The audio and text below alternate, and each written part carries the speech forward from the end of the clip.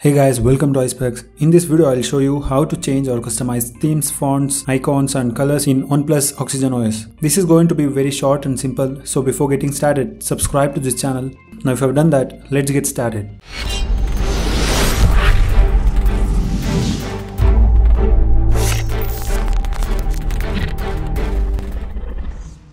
Open system settings on your OnePlus phone and go to customization. Yeah, here you can change preset themes, clock style, fingerprint animations, quick access buttons, system icons, accent colors, fonts and much more. Customization in Oxygen OS got better on Oxygen OS 10 and after, so in case if you have older version running on your phone, update it through system updates to get most of the customizable options. That's it. Hope you found this video useful. If you do, like it and share this video to someone who needs to know about this. Lastly, subscribe to this channel for more informative tech videos and also turn on notifications to get notified when we upload a new video. Thanks a lot for watching iSpecss. Have a great day.